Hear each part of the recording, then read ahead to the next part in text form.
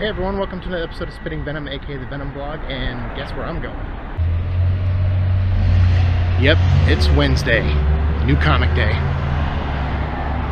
I made it to work. I got about 20 minutes before I have to go in, and I'm going to try to grab some food if I can. Uh, I totally forgot. I wasn't actually going to go get comics today because my account as of last night was like uh, like one dollar and like 50 cents. I get paid on friday it's wednesday today um, so i was like all right i have enough groceries i can bring something to work to heat up in the microwave and uh, you know so i'll be off my diet for a couple days but it's fine I, you know i'll make it i'll make it work and make it happen.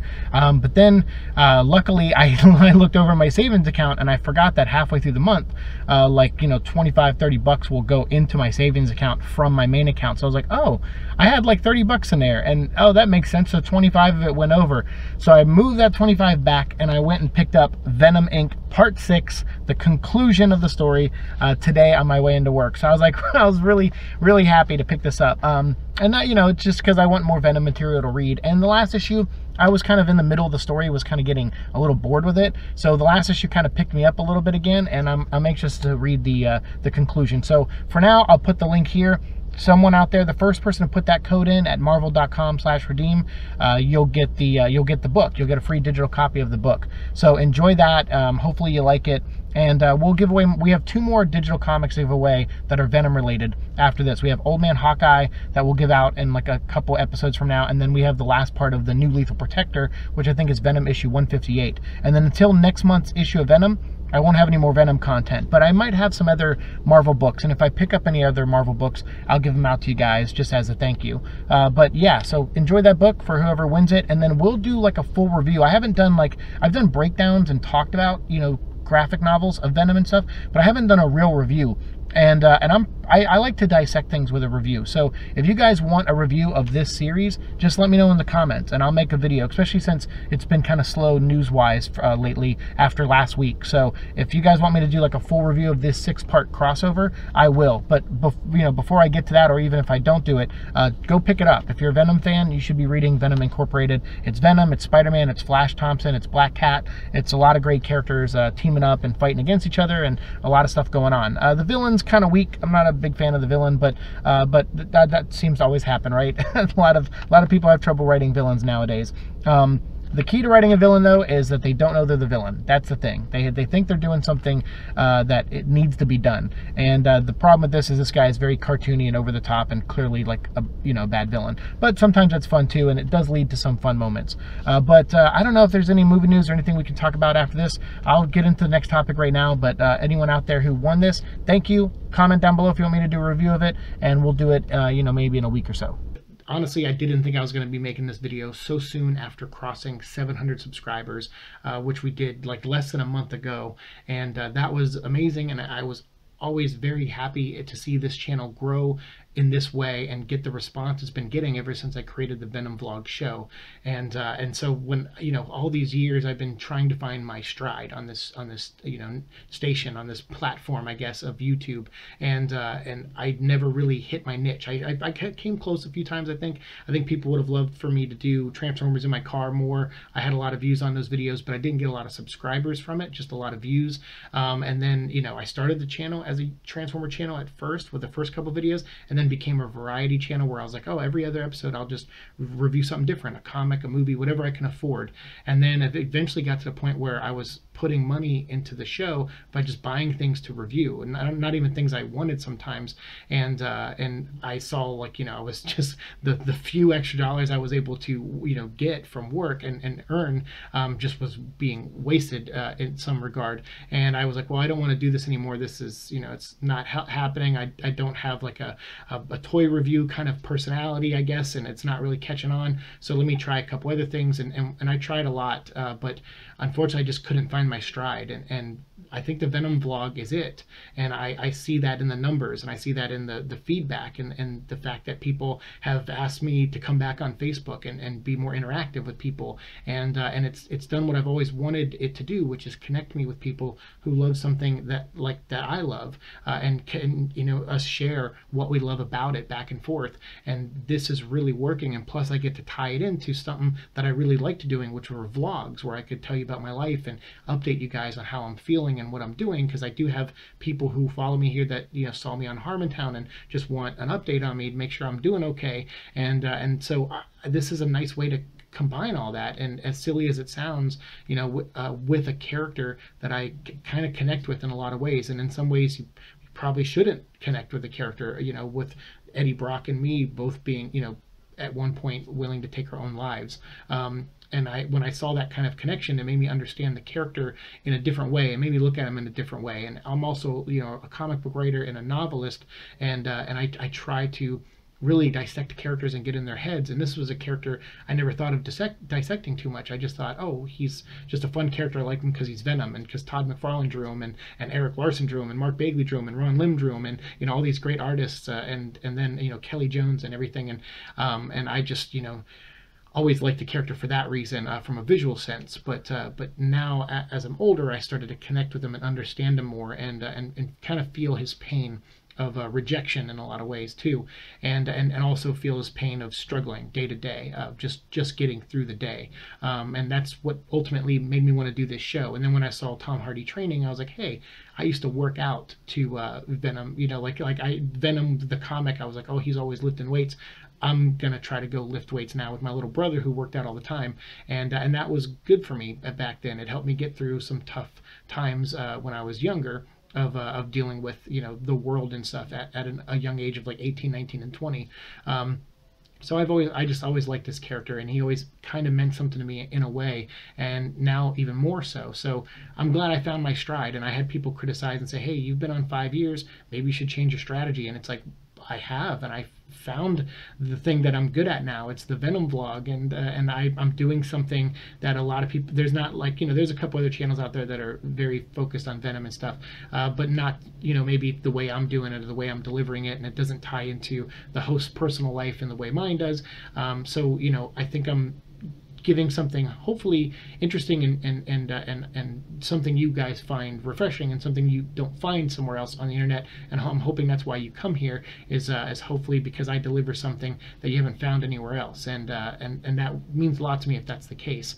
Uh, so I appreciate everything. And then when you know the ad thing came in today where you know YouTube reached out to a lot of small uh, YouTubers like myself and said, "Hey, we're going to demonetize you if you don't hit a thousand subscribers and four thousand hours watched on your channel."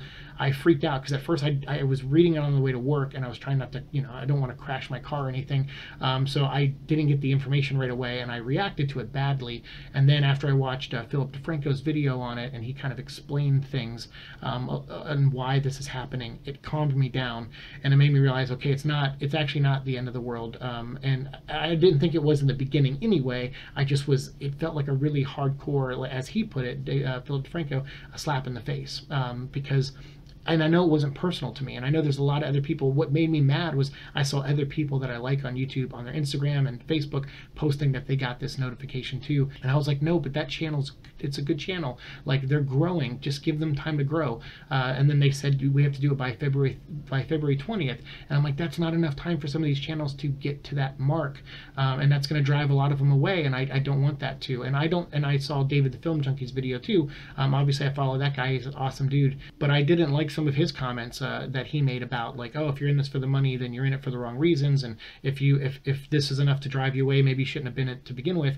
Um, no, that's not the case. You you don't factor in when you make comments like that. You don't factor in what other people's lives are like and how how in, intense and, and insane they can be, and that they look at this as something that represents their level of their bubble of sanity. Um, it's their form of escape. That's what I try to do. You know, as a storyteller and as a writer, I, you know, I m- m- like to provide escapism and I like to you know provide information on things that I love and, and hope other people love it too. And for other people it's they like sorting Lego bricks or they like talking about Lego products um, or they like to do streams where they talk to their friends and they you know and that it's just something that simple where they're just talking to people all around the world that they you know came in contact with online and they just do a show where they talk together. Um, you know it's it's these people have lives and like for me like I have medical bills like piling up. And for me youtube like twitch was really great when i went to twitch and i'm still on twitch and i still stream over there because that has become self-sufficient. I've been very fortunate for that channel to grow in just a just over a year over five you know almost 500 uh, followers in there. So I, I knew i was doing something right over there and luckily people were supporting the channel financially donating to it and helping me get games and, and upgrade to you get a camera so they can see me while i play games uh, get me a new controller when my controller died. Uh, these are things that happen over there because people enjoy the content that much. And i always hoped youtube was going to get there um, because you know having an extra hundred bucks every couple months actually does help me a ton. Um, it, it, would help me a lot with bills. Right now, I owe my roommate $125, and I feel terrible. It's been two weeks. I still haven't been able to pay him yet. If I had a YouTube check that came in that was like 110 bucks, that would make that easier. Um, so this this money, as little as it is to some of you out there, it can help some of us. And so we, yeah, we're in it partly for the money and hope that we can make it. If we don't, we don't, and that's fine. It's not the end of the world for us. Uh, but we we put a lot of our you know uh, time and effort into these, just like everyone else does. And I try really hard. I've tried to learn things about editing, things I didn't know before to, to up the value of my videos. And I st- I'm still you know recording on my phone. This is the best I can do because I am tech stupid you know like I I just I don't click with technology that well. Um, and so, and it's a, fr- a, daily frustration for me, trust me. Um, sometimes when I look at a cash register, I'm still like, oh my God, what do I do? Uh, but that's just, that's just who I am. That's how I, I that's the tr- struggle I have learning things.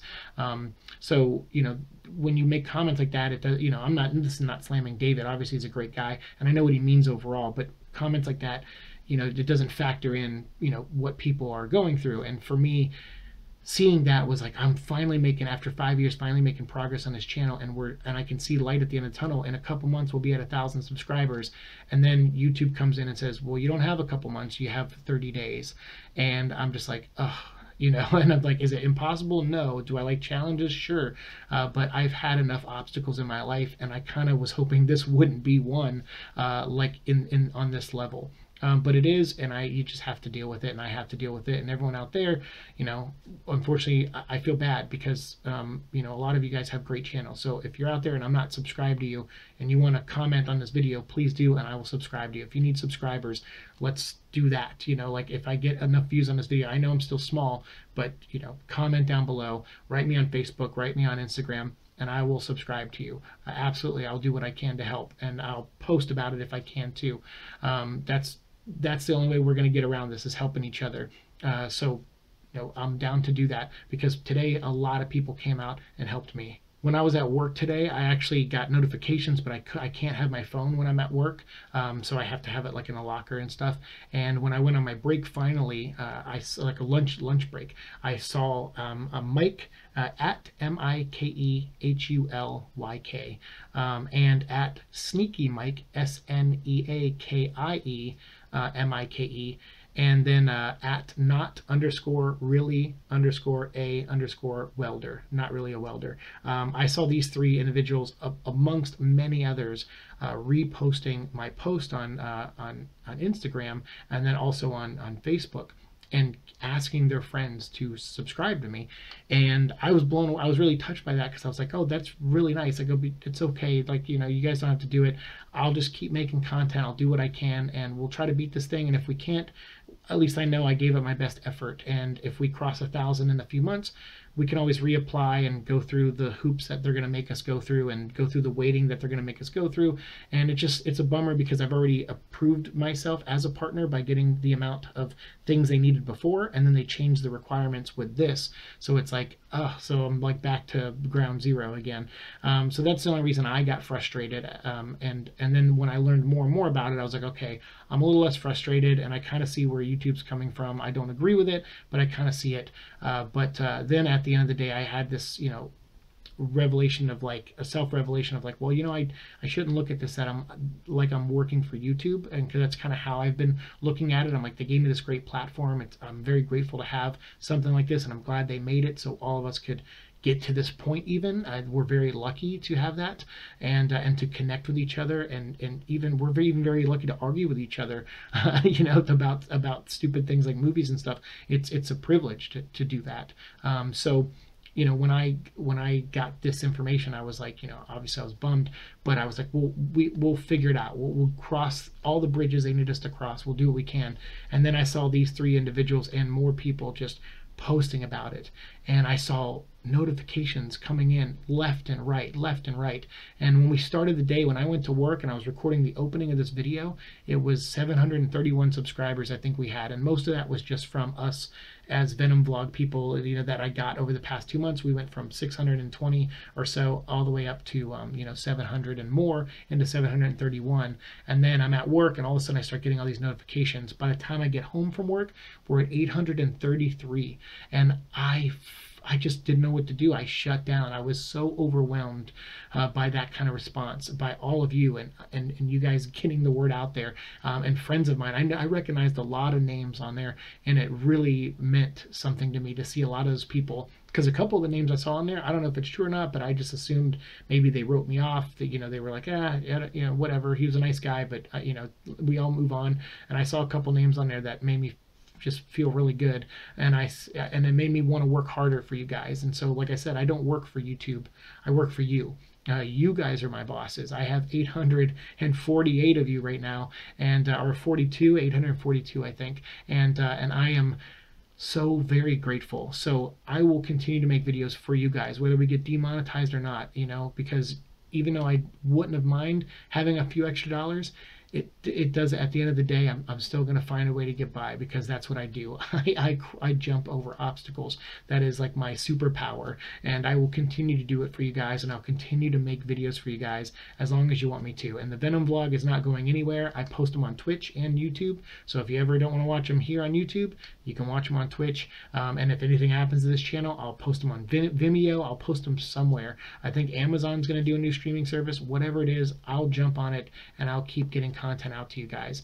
Uh, and that's just because I am so very grateful that you supported me this way and got me 100 subscribers in one day, which is 10 times more in one day than I've ever seen my channel get. I think the most I got was like a 12 subscribers in a day once. And, uh, and I remember that being like the greatest day ever. And seeing 100 today because of all of you coming together it means so much to me. So I will continue to make these videos, I promise. And speaking to creating these videos, I will say that I've been working behind the scenes on getting some very special stuff for you guys. I know a lot of you have been asking about Carnage. When are you going to talk about Carnage? I'm going to talk about Carnage. We are going to do Carnage Week on this channel, and I'm going to do at least one video a day. We're going to break down the Carnage classic graphic novel. We're going to talk about Maximum Carnage, maybe even the video game too, not just the comic book. Uh, we're going to talk about Venom versus Carnage, which is the first appearance of Toxin. We're going to talk about uh, the Zeb Wells Carnage stuff with Carnage USA and everything. We're going to talk about the Gerry Conway uh, Carnage storylines that have been coming out recently with uh, John Jameson and Eddie Brock as Toxin. We're going to do a whole week of Carnage. And then I think either to begin that week or end that week, I actually lined up some interviews for you guys. The first interview is with a guy named David Quinn. Really nice guy, been a Facebook friend of mine for years, follows me on Instagram. When I left Facebook, he was following me on Instagram, and uh, just a really, really nice guy. And he wrote a Carnage one shot in the 90s called Carnage It's a Wonderful Life. And that book's always stuck with me, and I reread it recently, and I was like, I gotta reach out to David. I'm pretty sure he's the guy who, he's the David Quinn that wrote this story. So I'm gonna reach out to him and see if he'll do an interview so I can bring you guys some really neat content and not just hear my opinions of Carnage and my dissection of these characters and who I think they are as a, as a you know amateur writer trying to get into comics, but you'll hear it from a pro who has actually written the character. And I thought that would be really cool. So we're going to do an interview with David Quinn. My roommate is nice enough to let me borrow his very expensive equipment in the living room uh, that he uses for his podcast called Mad Scientist Party Hours. Please check it out. Kevin Kraft, he's awesome, and he's letting me use it so I can get the best quality. I mean, this these will be the best videos uh, that I ever do. It'll be all audio, but I'll try to get some cool visuals from the comic book going on while I'm talking to David. Um, so yeah, a big shout out to Kevin for letting me use that stuff because not only are we going to use it for David's interview, but we're also going to talk to Ann Nocenti, who's this great comic book writer that I grew up with, who wrote Daredevil and a lot of great runs for a lot of great characters. And she has a she has a very interesting style to her her writing. Um, she has a very interesting voice to these characters, and she wrote a, a Venom miniseries that sticks with me still to this day called Venom: The Madness, where Eddie Brock goes into the sewer and gets like mixes the symbiote with this weird chemical, and it drives the symbiote insane, and the symbiote you know develops extra heads, and they're all whispering at Eddie, and they're driving him mad. Uh, hence why it's called the Madness. And in the middle of all this, in the middle of him losing his mind, he has to fight the Juggernaut from the X Men. And the art is by Kelly Jones. It's a fantastic book. Um, so we're actually going to get into the head of Venom through someone who's written the character before, too. And you're not just going to hear my opinion of who I think Eddie Brock is and how I would write him if I ever got the chance one day, but how someone who actually has written him, you know, wrote him and what she thinks of him as a character. So I have those two interviews coming up for you. I have Carnage Week coming up. A lot of stuff I'm going to work on, and we're going to get them out soon because February 20th, I'm still eyeing that as my deadline. I'm going to do everything I can to get us over a thousand subscribers. And with you guys helping me, I know we can do it. So thank you so much for getting us to 800. It means the world to me. And uh, I will definitely have more content for you soon. I looked up some other casting stuff. There's other news out there. Not a ton though. But uh, if nothing else, like I said, I'll break down some comic books this week for you guys. So we'll talk more. We'll talk about Venom the Madness. We'll talk about Venom uh, the Mace. I know I got a request for that. Um, someone requested me to eat another toy box. So I actually have one right here. Uh, this is Black Suit Spider-Man. I just saw this at Target the other day or Walmart the other day for like six dollars. So I was like, all right, I'll pick it up. I had another, I had two requests to eat another box for a toy review. So um, yeah, I'll do it. And I have another eating video uh, of a toy, but different than this that you guys might like too. I don't know. I'm weird, and you know, Venom has a weird sense of humor, so I figured I should let my weird sense of humor come out in, in you know every couple videos or so. So that'll be coming up too. So as always, guys and gals, thank you so much for today, for always being here. The people who have been subscribed for years, people who supported me since the beginning, people who support me now like just thank you. Thank you so much from the bottom of my heart for for helping me you know uh, keep going because you know i've almost deleted this channel a couple times because i just didn't know what to do with it. I kept struggling to find an identity on here and i feel like i finally did and it's, it's it seems apparent because you guys are very supportive of it. So thank you for that support. Thanks for keeping me going and uh, we got a thousand subscribers to get to and we're getting very very close. Thanks to all of you. So let's keep going. Have a good night. See you in the future. Peace